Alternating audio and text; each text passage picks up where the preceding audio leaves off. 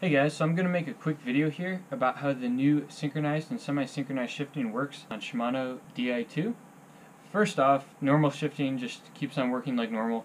Press one button, it'll shift your rear derailleur. Press another button, it'll shift your front derailleur.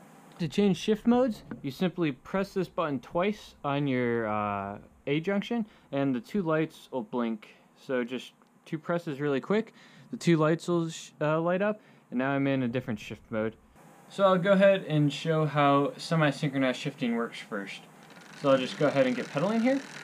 Now in semi-synchronized mode, whenever you shift the front derailleur, the rear derailleur will automatically shift uh, a number of gears in the opposite direction. So that way it's not quite a big of a jump. So in my case I have it set to 2, which is the default. So I'll just go ahead and shift my front derailleur here. And you can see that it automatically went into a harder gear in the back. And I shift back up, you can see it goes back two gears the other direction. Alright, next I'm going to talk about fully synchronized shifting. Uh, with this mode, you only need to use your rear derailleur buttons, and it'll automatically shift your front chainring for you. So this will all be done only using the right shift button.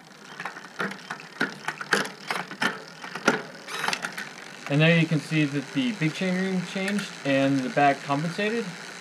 And I'll keep on going all the way down.